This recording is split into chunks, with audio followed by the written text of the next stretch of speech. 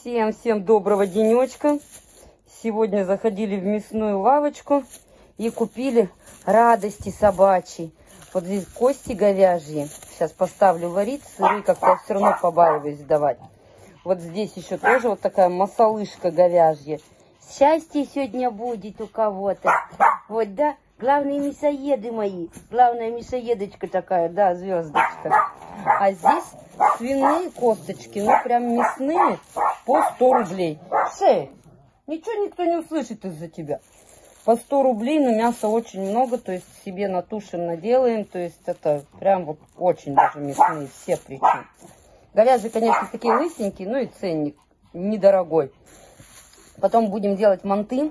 Купили такой кусочек говядины по 465 рублей. И... Не скоро будем делать, послезавтра только монтоварка придет. А? Ну, когда будем, тогда будем. Ну, в общем, пока запланировали манты, а возможно сделаем и не манты. Посмотрим.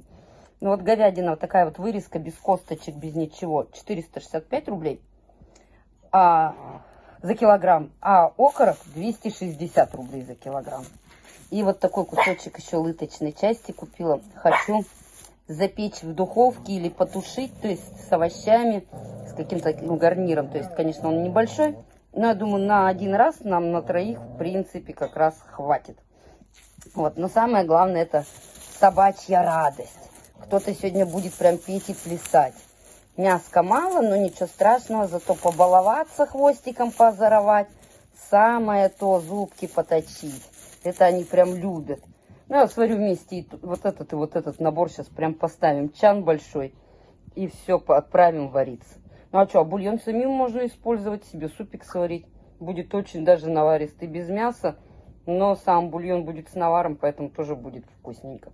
Ну, а всем хороших покупок, отличного настроения и замечательного дня.